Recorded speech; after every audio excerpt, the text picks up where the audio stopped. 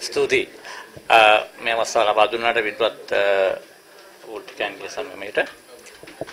මගේ පසුබිම මම විද්‍යාවේ දීපාධාරයක් පෙරදින විශ්වවිද්‍යාලයේ මම මේ 1992 තමයි දීවර ක්ෂේත්‍රයත් එක්ක සම්බන්ධ වෙන්නේ කල්ටාස් ආයතනත් එක්ක කොළඹ සිරික් ආයතනත් එක්ක ඊට පස්සේ 97 දී මම ජාතික දීවර සාහිත්‍ය ව්‍යාපාරය ගොඩනගලා ඒ අධිකරු වෘත්තිකයන් සමග ඒ කටයුතු වල නිරත වෙනවා. අවුරුදු එතකොට 25 විතර කාල සීමාවක් මේ දීවර ක්ෂේත්‍රයේ අත්දැකීම් තියෙනවා. ක්‍රියාකාරී වෙන පුද්ගලෙක් හැටියට මට ඒ අත්දැකීම් ඉදිරිපත් කරන්න පුළුවන්. අපි අතරම සමාජිකත්වය පදනම් වෙච්ච සංවිධානයක්. අපේ සංවිධානය දිස්ත්‍රික්ක 17ක ක්‍රියාත්මක වෙනවා.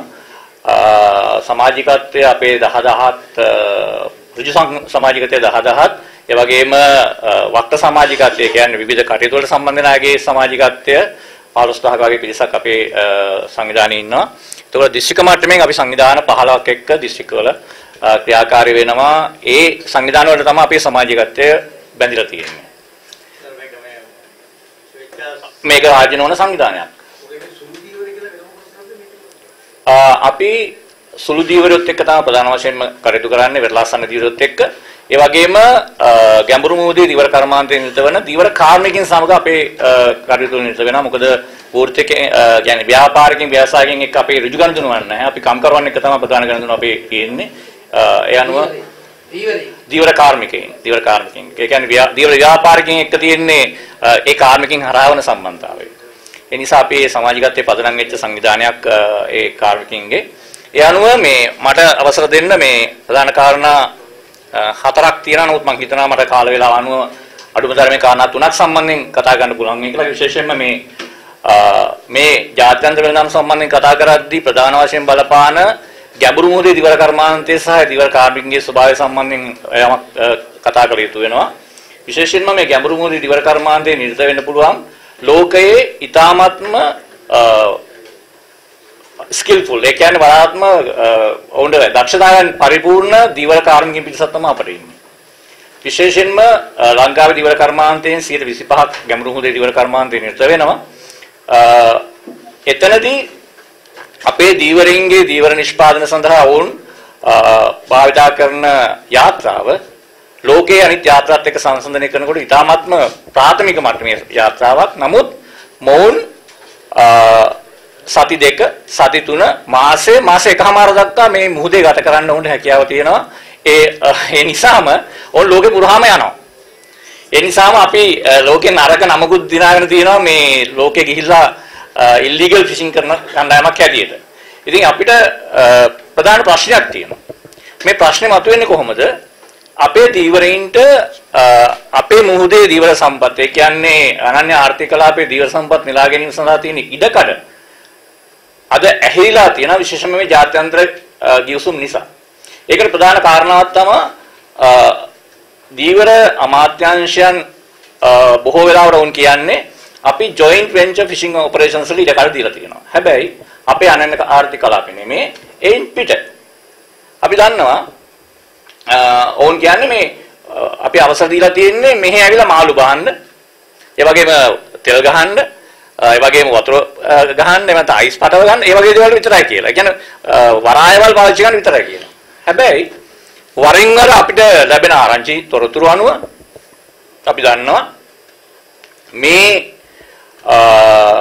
මහමූදේ දීවර කර්මාන්තයේදී විශේෂම ගැඹුරු මුදේ දීවර කර්මාන්තයේ කරන මේ ඒකාබද්ධ දීවර ගිවිසුම් ක්‍රියාවලියේදී සමහර මම අමතුරු 8 දෙනෙක් එක වැඩ කරලා තියෙනවා මේ අවුරුදු ගාන තුල මහින්ද රාජපක්ෂ ඇතුළු ඊට මෙහා ඉන්දික ගුණවර්ධන ආදී ඒ සිල් ගන්නත් එක්ක ඒ අනුව මේ අවුරුදු 25 තුල අපි දකිනවා මේක මහා නිදානයක් ඇයිද වුණු මේක පාවිච්චි කරනවා.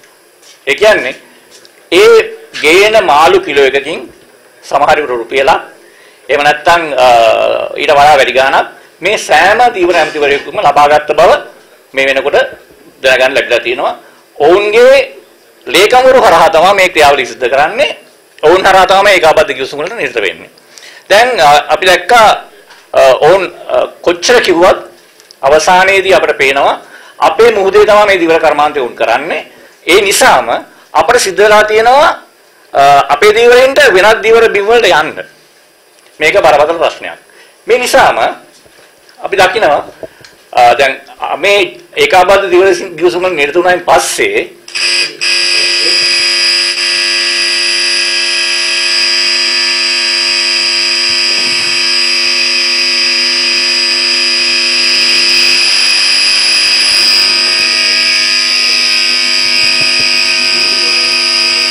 පයද? නෑ.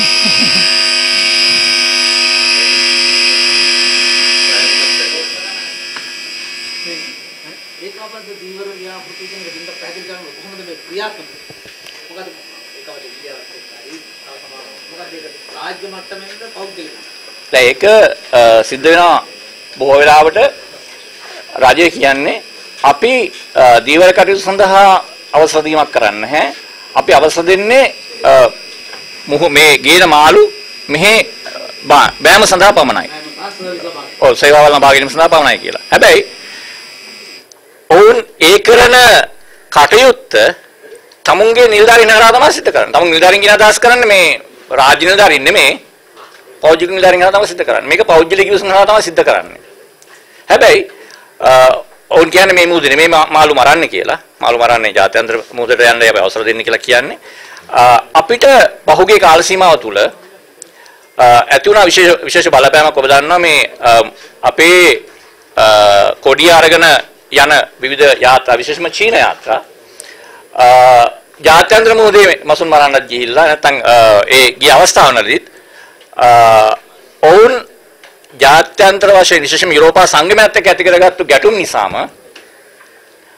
අපේ මහලු යුරෝපයට ආනයනය කිරීම ඔවුන් තහනම් කරනවා. ඒ නිසාම ඔවුන් එතනදි කියන්නේ අපේ දීවරයෝ IUU illegal unregulated unreported fishery කර්මාන්තේ නිරත වෙනවා නිසා අපිට මේ කර්මාන්තය නිසා ගේන මාළු පිළිබඳව වකීමක් ගන්න බෑ අපි යුරෝපා සංගමයෙන් මේ මාළු ගේන එක නවත්වනවා කියලා තමයි ඔවුන් එක අපි ලබා දීපු යාත්‍රාවල අවසරයන් එක තමයි ඒක එන්නේ. අපි ලබා දුන්නේ බොහෝ විට චීන යාත්‍රාවන්ට එක ලබා ගත්තා. අපේ දියුව ගියාත් මේ දෙකම සිද්ධ වෙනවා. ප්‍රධාන වශයෙන්ම ඒ තාක්ෂණයත් එක්ක තරඟ කරන්න හැකියාව තියෙන්නේ චීන යාත්‍රාවල තමයි. අපේ යාත්‍රාවල නෙමෙයි. අපේ යාත්‍රාව බොහොම ප්‍රාථමික මට්ටමේ ලොන්ග් ලයින් තමයි පාවිච්චි කරන්නේ. ඒ අනුව ඒ යාත්‍රාවල කරන දීවර කර්මාන්තය හරහා ලබාගත්තු බලපෑම විශාල වශයෙන් බලපෑව අපේ දීවර කර්මාන්තයට මේ ඒ තහනම ඇති කරගන්න. ඉතින් ඒක නිසා මම කියන්නේ අපේ දීවර ශ්‍රම බලකායක් තියෙනවා. හැබැයි ශ්‍රම බලකායට යෝග්‍ය වෙන විදිහේ ව්‍යවසායකින් අවශ්‍ය වන ඒ අවශ්‍ය මූලික පහසුකම් නීති රීති සහ අවශ්‍ය වන පහසුකම් ලබා දීම හරහා මේ දීවර කර්මාන්තය දිනු කරන්න පුළුවන්. ඒකෙන් විශාල ආදායමක් ගන්න පුළුවන්. මොකද අපේ රටේ වර්ග ප්‍රමාණය වගේ අට ගුණයක් අපේ මහමුහුදක් තියෙනවා. ඊ ලංකාවේ තමයි අපි ඒ මහමුහුද තාම අපේ සීමා නිර්ණය කරගෙන නැහැ නිවැරදිව. දැන් මේකත් බරපතල ප්‍රශ්නයක්. ඒ කියන්නේ මහා මුහුදේ මුහුදු තලය විතරක් නෙමේ පතුලත් අපිට අයිති. ඒතකොට මේ මේ සම්පත් නෙලා ගැනීම පිළිබඳව අපිට සැලසුමක් පැහැදිලිව නැහැ. ඒ වෙනුවෙන් තමයි අපිට විවිධ තාක්ෂණයන් විවිධ පුජ්‍යලයන්ත් මෙහි භාවිතා කරන්න නැත්නම් යොදාගන්නේ. ඒකෙදි ප්‍රධාන වශයෙන් සිද්ධ වෙන්නේ අපිට නිශ්චිතාකාරී ප්‍රතිපත්තියක් ක්‍රියාවලියක් නැති නිසාම මේ දීවර ඇමතිවරුන්ට දේශපාලකයින්ට ඒ ඔවුන් සමගින් නිලධාරීන්ට හැකි වෙලා තියෙනවා ඒකින් අවශ්‍ය ප්‍රතිලාභය තමුන්ගේ සාක්කුවට ලබා ගන්න. මේක රටට ලැබිය යුතු ආදායම දේශීය වශයෙන් ලබාගත යුතු වාසිය යන්නේ වෙනත් අයට. ඒක විශාල ප්‍රශ්නයක්. එතකොට මේකේ විනිවිදභාවය පිළිබඳ බරපතල ප්‍රශ්න තියෙනවා. මේ ගිවිසුම් පිළිබඳ ඔබ ඔබ මයින් අහනවා මේ සම්බන්ධයෙන්. අපිවත් හරියට දන්නේ හැබැයි කියන්නේ මොකද්ද මේක අපි මේ මෙහෙම අවසර දීලා නැහැ කියලා තමයි කියන්නේ. හැබැයි මතක තියාගන්න ඕන කාරණාවක් තියෙනවා. පහුගිය අවස්ථා ගණනාවක විශේෂයෙන්ම LTTE උතුර පාලනය කරන ඒ මුහුද පාලනය කරන අවස්ථාවේදී චීන යාත්‍රාවකට පහර දුන්නා. පහර දීපු ගමන් අපේ දිව අමාත්‍යාංශ කියන මේ අපි අවසර දීපු යාත්‍රාවකට පහර දුන්නේ කියලා. හරි ඉතින් ඒකෙම උප්පු වෙනවා. එතෙන් මම අවපාතන යනවා. අන්තිය ගිසුම අස්සන් කරනවා කියන ගිසුම. එකඟතාවය තමයි ඒකාබද්ධ ව්‍යාපෘතියක් කියන්නේ. ඒක ජීවර සංස්ථාවේ අනුමැතිව ඇතුළේ මේ ව්‍යාපාරිකයෙක් කරන්නේ. ඔව් එහෙම එහෙම එහෙම මෙහෙමයි. අපේ තියෙන මම දීවරේ ඉන්නවා තව චීන දීවරේ ඉන්නවා. අපි දෙන්න එකතු වෙලා කරනවාද කිසිම ඔතොරිටි එක බලයක් නැතුව. එහෙමද? අපේ දීවර සංස්ථාවේ අනුමැතිය කෙරේ එක්තරා මට්ටමක ඔතොරිටි දෙක අතර සම්බන්ධයක් නැද්ද? අපිට තියෙනවා 50ක් 1979 අංක 59 දන්න දීවර විදේශ දීවර යාත්‍රා අ, විධිමත් කිරීමේ පනත. Foreign Fishing Assist Regulatory Act කියලා එකක් තියෙනවා. ඒ පනත ඇරේ තමයි මේක සිද්ධ කරන්නේ. ඒ පනත හදන්නේ විධිමත් කරන්න. හැබැයි කරන්න අවසර දෙන එක. අ, ඒක තමයි සිද්ධ කරලා තියෙන්නේ. එවනෝ මේ නීති හැදිලා තියෙන්නේ මේ රටේ දේශ දීවර කර්මාන්තය දිනු කරන්න නෙමෙයි. හැදිලා තියෙන්නම අ, පුළුවන් තරම් අ, විදේශිකින්ගේ අ, ආයෝජන ආයෝජන ගැන පිළිබඳ ප්‍රශ්නයක් තියෙනවා අ, පෞද්ගලික කොයි විදිහට කළ යුතු කියන එක. මොකද රට ආයෝජන අවශ්‍ය වෙනවා. නමුත් මේකෙදි දේශීය දීවර කර්මාන්තය ගොඩනැගීම සඳහාද මේ අ, ආයෝජනයන් කරන්නේ. එහෙම නැත්නම් අ, විදේශිකින්ගේ ආයෝජන ලබාගෙන තමුන්ගේ සාක්කු පුරව ගැනීම සඳහාද මේ ක්‍රියාවලිය සිදු කරන්න කියන කාරණේ පිළිබඳව බරපතල ප්‍රශ්න ගණනාවක් තියෙනවා.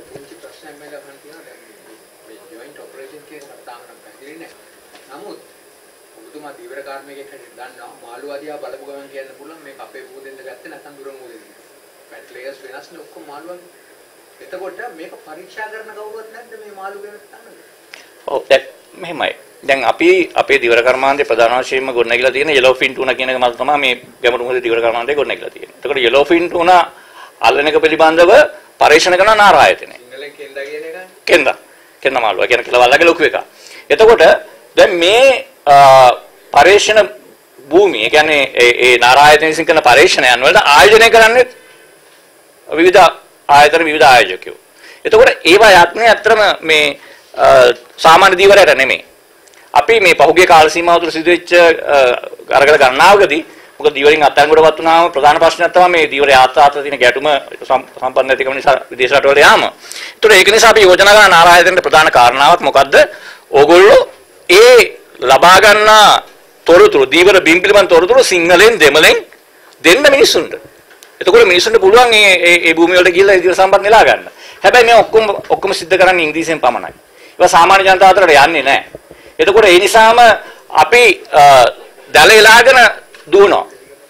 හැබැයි තාක්ෂණ තියන අය ඒ ඒ භූමියේ පතුලේ ඉන්න මාළුවන් අල්ල ගන්නවා. ද- යම්මානවත් නෑ මේ දැන් මේ මේ කෙටි කාලයක් ඇතුළත තාමත්ම සංකීර්ණ සංවිධාන ව්‍යුහයක් තියෙන දීවරාංශය පිළිබඳව සම්පූර්ණ අවබෝධයක් හෝ ජනතන් අවබෝධයක් හෝ ලබා ගැනීම බොහොම අමාරුයි. ඒක කරුණාකරලා ඔබේ අදහස් ටික අපිට දීලා දෙන්න. පුළුවන්. ආ, මම ප්‍රධාන වශයෙන් එකක් හරි කියන්න. හරි මට ඒකට අවසර දෙන්න.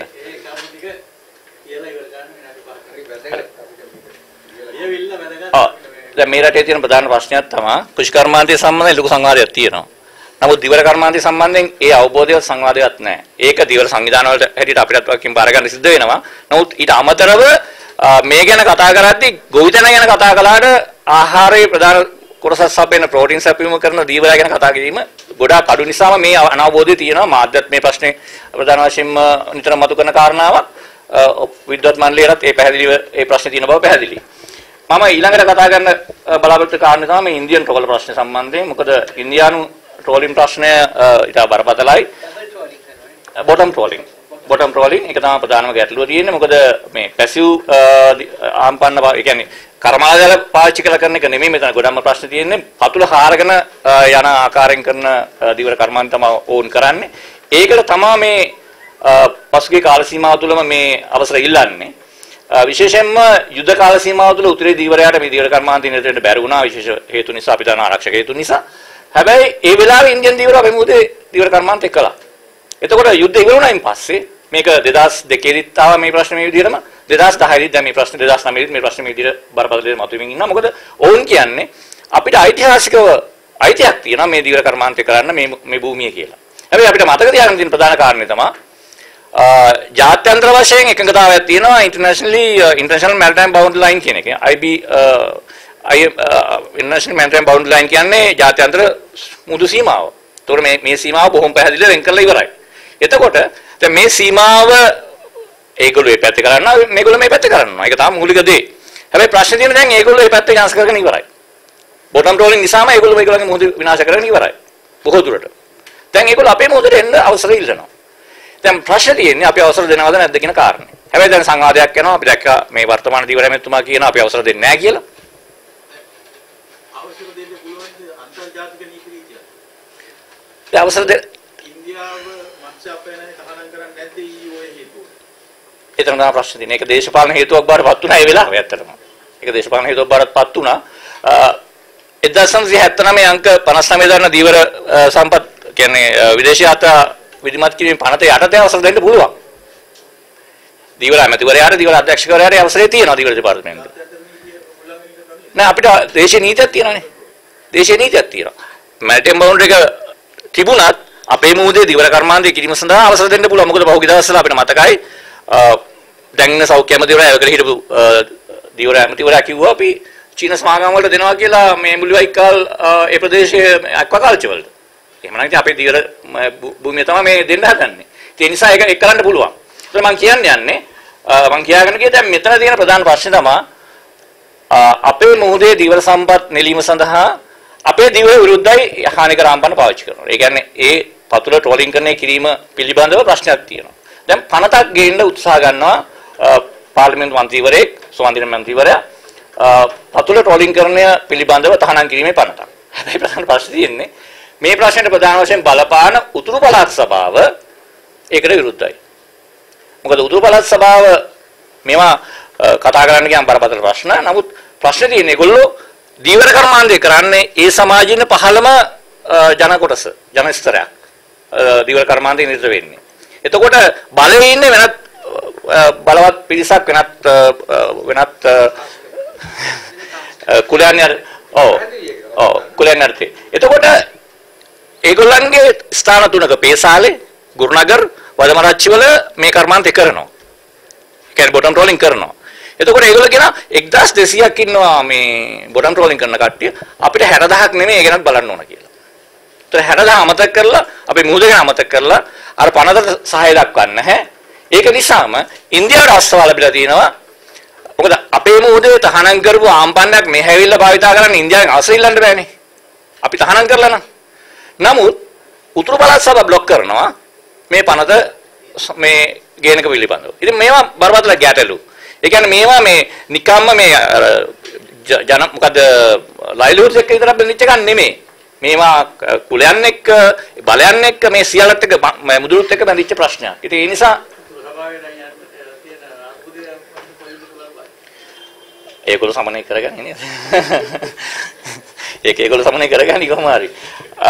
එතකොට මට ඊළඟට මම මේ මේ මම දීර්ඝව යන්නේ මේ සම්බන්ධයෙන් මොකද මට කාල වේලාවක් නැති නිසා. නමුත් මම ලියලා දෙන්නම් මේ කාරණා සම්බන්ධයෙන්. අපි මේ සම්බන්ධයෙන් 2004 ඉඳලම ඇත්තට මැදිහත් වෙලා වැඩ කරන කණ්ඩායමක් ඉන්දියාවේ දීවර සංවිධානත් එක්ක අපි දීර්ඝව සාකච්ඡා කරමින් මේ ක්‍රියාවලියේ ජනතාව අතර සංවාදයක් ඇති කරන්න මැදිහත් වෙච්ච කණ්ඩායමක් අපි. ඒ අනුව මේ ක්‍රියාවලිය යම් යම් එකඟතාවයන් අපි ඇති කරගත්තා. හැබැයි අපේ ආණ්ඩුව මේකට එකඟුන්නේ නැහැ. අපි 2004 දී අපි ඇති කරගත්ත කිවිසුමක් එකඟතාවයක්. ඕගොල්ලෝ අපේ මුහුදට හානිකර ආම්පන්න අරගෙන එන්න එපා කියන කිවිසුම. හැබැයි අපි ආණ්ඩුවයකට එකඟුන්නේ නැහැ. ඊට පස්සේ 2010 අපි එකඟතාවයට ආවා. ඕගොල්ලන්ට අවුරුද්දකට පස්සේ සම්පූර්ණයෙන්ම මේ මුහුදෙන් ඉවත් වෙන්න ඕන කියන විදිහේ එකඟතාවයක්.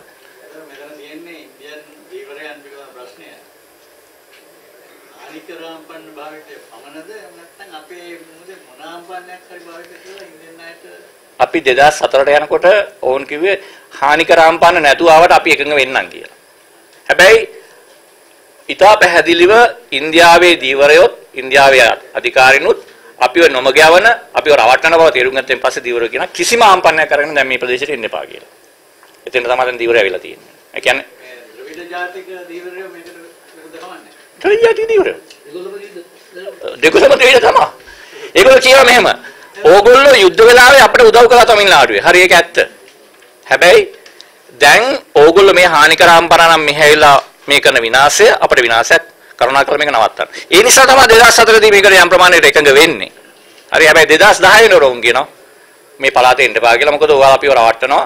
ඔයාලා මේක මේ විනාශය අපේ මුදෙත් කරන්න අපි ඉඩ දෙන්නේ නැහැ කියන කාරණේ නිසා. ඒ තීව්‍ර පිළිවෙල දැනුවත්. තීව්‍ර දැනුවත් හොඳටම. ඒ නම් මුදර වෙන දේ සම්බන්ධයෙන් උන්ට හොඳටම පැහැදිලි. සහ මුද ගැටුම්. වෙඩි තියා ගන්නවා නොයෙකුත් දේවල්. කියන්නේ පියවලින් කපා ගන්නවා, මරා ගන්නවා. එහෙම බරපතල සමාජ ගැටලු මත වෙලා තියෙනවා මේක සම්බන්ධයෙන්. තමිල්නාඩු ආණ්ඩුව ඉතාලම වෙනස් විදිහකට තමිල්නාඩු ආණ්ඩුව මේක ඒගොල්ලෝ එවන්න ඕනනේ මෙහාර කොහම හරි ඒගොල්ලන්ගේ ප්‍රශ්න විසඳ ගන්න. හරි. ඒ කියන්නේ අපේ දිවල කාර්මිකයින් මේක බරපතල ප්‍රශ්නයක් වෙනවා. ඒ නිසා මේක මේ අපිට අවසර දෙන්න කියන පරිවිලි තමයි පහුගිය කාල සීමාව තුළ ජයලලිතා මැතිණිය උත්සාහ ගත්තේ. නමුත් දැන් තවමත් ඒ ඒ උත්සාහ නැතරලා නැහැ. ඒවා දිගටම පවතිනවා. ලියවිල්ලෙන් සායන ගත්තා නේද? හොඳයි. මට එක එක කාරණයක් විතරක් කියන්න අවසර දෙන්න මොකද මේ මේක මහා හාස්‍යජනක කාරණාවක් නමුත් මේ කියන්න ඕන. දැන් අපේ මේ පොඩි දීවරෝ ප්‍රධාන වශයෙන්ම යැපෙන්නේ හුරුලා කියන මාළුවගේ. හුරුලා තමයි අල්ලන්නේ. පොඩි දීවරයා අතර තමයි සීර වැඩිම ප්‍රමාණයක් තියෙන්නේ අර අඩි 19 බෝට්ටු. එතකොට මේ බෝට් වලින් ප්‍රධාන වශයෙන් මේ කර්මාන්තය දුවන්නේ හුරුලා මාළුව අල්ලන එකෙන් තමයි ප්‍රධාන වශයෙන්. ප්‍රධාන වශයෙන්ම. අනිත් මාළුව අල්ලනවා. නමුත් ඒක තමයි ප්‍රධාන දේ. හැබැයි මේ මාළු ඇතුළුව කුඩා මාළු සියල්ලම පාකිස්තානෙන් ඉන්දියාවෙන් ඒ වගේම මලේසියාවෙන් විවිධ රටවලින් ආනයනය කරනවා. ඒ මාළු පවා අද අද මීගුවේ මාළු මාකට් එකට ආවොත් එහෙම ඒ පැකට් ෆ්‍රීස් කරපු මාළු පැකට් ගොඩ ගහගෙන ඉන්නවා ඒව තමයි විකුණන්නේ. ඉතින් කොහොමද අපේ දිවර කර්මාන්තය දියුණු කරන්නේ? එහෙම නැත්නම් අපි කොහොමද මේ ආර්ථිකය ගොඩනගන්නේ? ඒක ප්‍රධාන ප්‍රශ්නයක්. මට පොඩි ප්‍රශ්නයක් තියෙනවා. මේකට ඔබතුමා දැන් කියන්න බැරි නම් ලියලා හරි දෙන්න. දැන් අපි ගියොතින් මෙතන මාකට් එක අපේ ප්‍රධාන මාකට් එක වත්තලා තියෙන 90ක් තියෙන ඔක්කොම ඉම්පෝර්ටඩ් මාල්. උරුල්ලෝ විතරක් නෙවෙයි. ඔව්. උරුල්ලෝ විතරක් ඔව්. නෙවෙයි. කෙලවල්ලෝ, කෙල්ලෝ, තෝරු, තෝර අශේෂයෙන් කියන්න පුළුවන් ෆැට් ලේයර් එක සම්පූර්ණයෙන්ම වෙනස්. වසත් වෙනස් ඔක්කොම වෙනස්. ඇයි මේව වෙලා තියෙන අපේ මාළු කොහෙද යන්නේ? තවත් අනිත් දෙයක් තියෙනවා දැන් අපි EU එකෙන් අපේ පහන් ඉම්පෝර්ට් එකේ තහනම් කිරීමේදී ලොකු ආවුවක් කියන්නේ පිටට මාළු කියලා අපි කන්නේ තෝරාම ගන්න මාළු කරා 90ක්. පිටට මාළු අපි කන්නේ. ඔක්කොම පිටට මාළු ගන්න බෝසත්. ඉතින් ඔක්කොම අලුත් මාළු කියලා අලුත් මාළු කියලා නෙන්නේ. විදේශ විනිමය පිළිබඳව. ඔව්. අපි දැන් EU එකට ඒකයි දන්නේ මේ වගේ. අපනයනය කරලා විශාල විදේශ විනිමය වෙනවා කියනකොට අපි ඉම්පෝර්ට් කරන්න යන එකයි අතර ඒකට මේ එතනක් තියෙන අර ගා- ඒක තමයි මේ මේ ඇත්තටම මොකද්ද මේකේ තියෙන මේ ප්‍රතිපත්තිය කියන කාරණේ බරපතල ප්‍රශ්න. ඒ කියන්නේ මේ කර්මාන්තය දිනු කිරීම හරහා විශාල ආදායමක් ලබා ගන්න පුළුවන්. හරි. හැබැයි අපේ ජාතික වශයෙන් ප්‍රතිපත්තියක් ක්‍රියාකාරීත්වයක් නැහැ මේ සම්බන්ධයෙන් ඇමතිවර කලින් මම දැන් පළවෙනිම කතා කරපු මහත්මයා කිව්ව විදිහටම එන ඇමතිවරයාගෙන් ඇමතිවරයාට මේක වෙනස් වෙනවා. හැබැයි වෙනස් නොවන එක දෙයක් තියෙනවා මේ බහුදින යාත්‍රා පිළිබඳ තියෙන ගිවිසුම් වෙනස් ඒක ඒක වෙනස් වෙන්නේ. ඒක ඔක්කොම එක විදිහට කරගෙන යනවා. අනිත් කාරණා ටික ඇමතිවරයාගෙන් ඇමතිවරයාට වෙනස් වෙනවා. ඉතින් ඒක නිසා මම හිතන්නේ මේක ජාතික ප්‍රතිපත්තියක් වෙලනාමි ගැන විතර නෙමෙයි. දීවර කර්මාන්තය පිළිබඳව සමස්ත ප්‍රතිපත්තියක් අවශ්‍යයි මේ මොකද අපිට විශාල මහමුදක් තියෙනවා.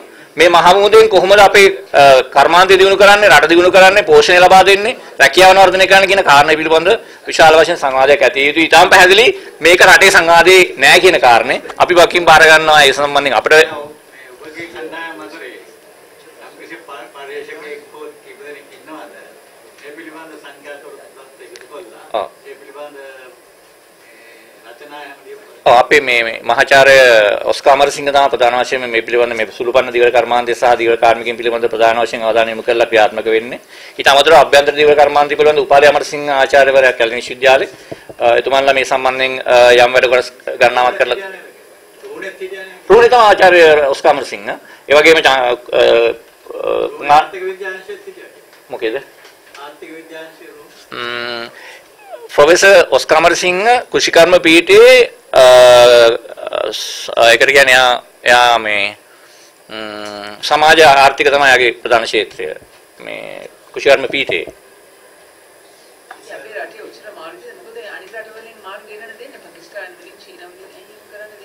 අපේ කතා කරන්න ඕන ජාතික ප්‍රතිපත්තිය පිළිබඳ ඒ කාරණෙත් එක්කම තමයි මම කියන්නේ. ඈ? ඩියුටි තියෙනවා.